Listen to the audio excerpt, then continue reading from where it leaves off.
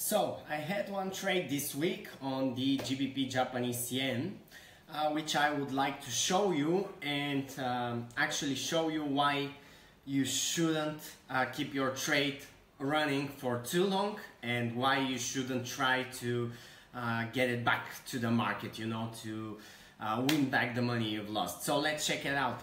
You can see I entered right here on this H4 candle which broke uh, this small zone there. Let me just mark it for you guys uh, right here. So I was expecting a continuation down all the way to that support zone. And the first eight four hours were looked like that. You can see the candle here. And I was like but uh, the price exploded up. Didn't touch my stop loss there.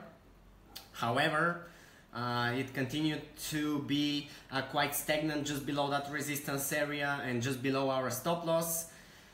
Made a small swing down right here, followed by another move up.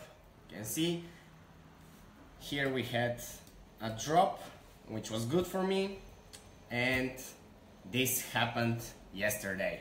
And I was like, actually, the market was like, situations like this happen all the time so you need to be prepared for them and you need to remember three important things. First one adapt to the new situation on the market. The second one don't try to take your revenge on the market. And if necessary step three take a break from trading for a few days and then return fully powered and with the right mindset. So good luck trading out there guys